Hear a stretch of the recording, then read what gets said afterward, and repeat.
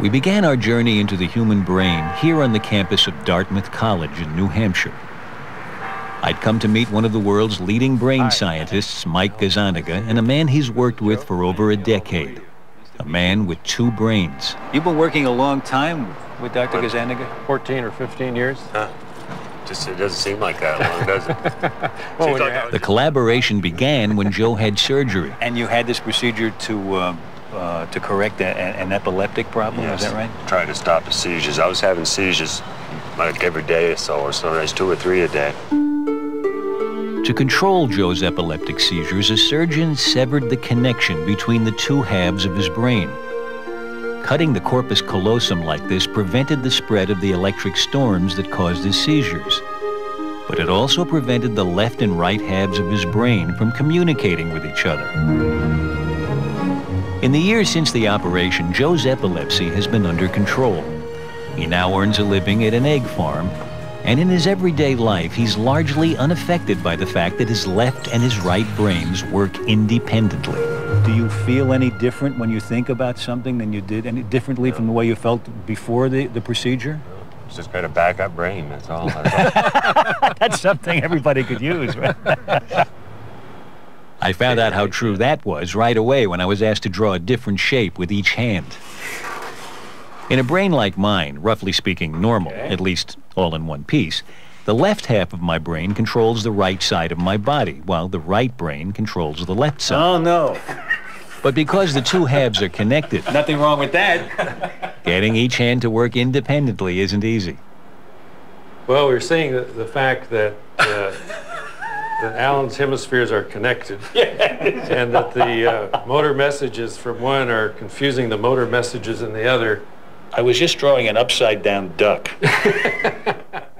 Okay. But when Joe is given the same task, his two hands operate as if controlled by two separate brains. What's happening is that each half of Joe's brain is given a separate instruction. He's asked to fix his eyes on the cross in the center of the screen. Anything flashed to the right of the cross goes only to his left hemisphere. Things to the left go to his right hemisphere.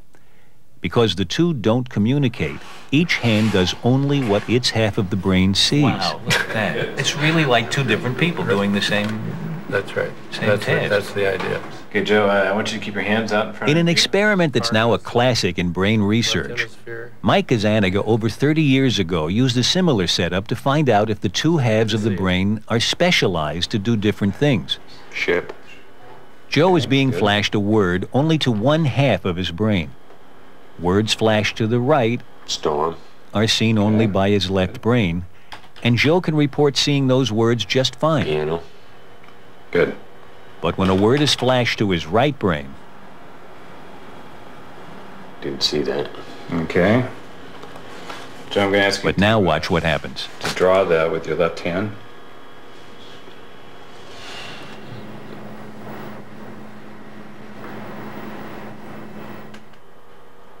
You're gonna be lost. Why don't you try drawing another picture of it over here if that will help you.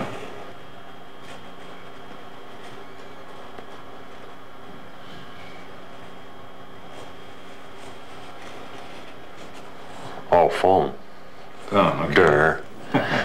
It's almost as though somebody has given him a secret communication. That's and right. Now he knows that, that it's a telephone. But up until then, he was blind to it. Exactly. When Gazzaniga first did this experiment, it instantly proved that the ability to speak resides almost exclusively in the left hemisphere. Not until he sees what his right brain is drawing is Joe able to name it. He said church, didn't he? After looking at the picture. Yeah, but he had to figure it out about as long as we did. That's really interesting. It's, it, it is a, it's a picture here of somebody communicating almost with another person. And the communication is not occurring inside the head, it's occurring out on the piece of paper. Yeah. Blob. i Really don't know. You want to draw a little bit more?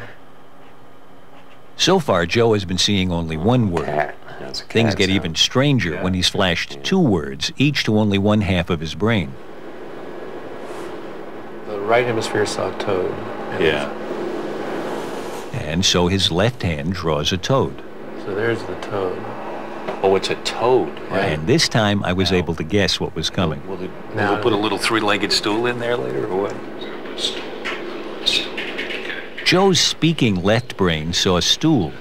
Saying the word lets the hand that's controlled by his right brain in on the secret. That's great. That's really interesting. And if he had seen that with, with the corpus callosum intact, he would have drawn Right. a toadstool. Right. Uh, Yeah, not but a toad and a stool. Right, exactly the point. I've been doing this for 35 years. Yeah. And, and It, it gets me every time. Yeah, it, it must. It must. This time, instead of naming the word, I want you to point to the word. Again, Joe sees two words simultaneously. Bell goes to his non-speaking right brain.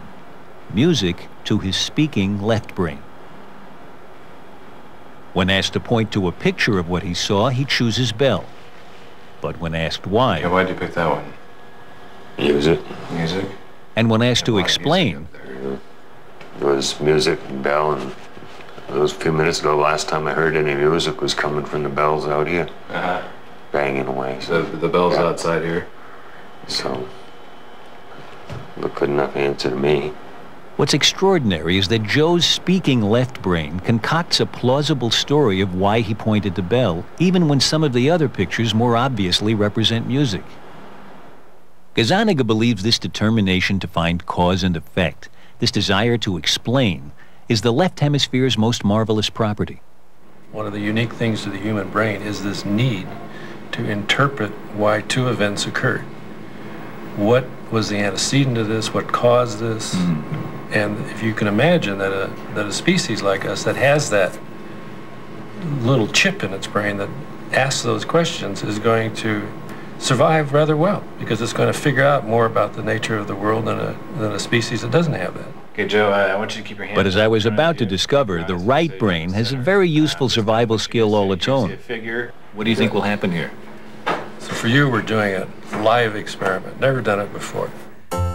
The experiment involves the 16th century Italian painter Arcimboldo, who made faces out of fruit, flowers, meat, even books. From other research, there's reason to believe that the ability to recognize faces is located exclusively in the right hemisphere. So Mike wondered if Arcimboldo's paintings would look different to each of Joe's two brains. So will his left hemisphere say, I saw a potato, I didn't see a face? And will his right hemisphere say, I saw the face, and not comment on the fact it was made out of a potato? You're going to see a figure followed by a choice of two words. If this works, it'll be terrific, but we'll see. So here it is, live. Okay? Mm-hmm. The first painting goes to the right hemisphere. And Joe points to Okay, point it face. down. The next painting goes to his left brain. And this time he points to fruits. Mike seemed pleased. Are you having a moment? This is too good. Again to the right brain, and Joe sees it as a face. Point it down. But to the left brain, Face made out of books. Point it up. What are the books? are you happy with what Fruit. you're seeing? It's unbelievable. He's doing it. You see that? It's going so fast. It's shifting from left to right so fast. I can't keep up with you. You're used to looking at this. When you show him a face in the right side, the left hemisphere, yeah, he's focusing in on the elements that made up the face. yeah. When you show him the exact same picture in the left field going to the right hemisphere, he's focusing on the face and not the elements. and not the elements.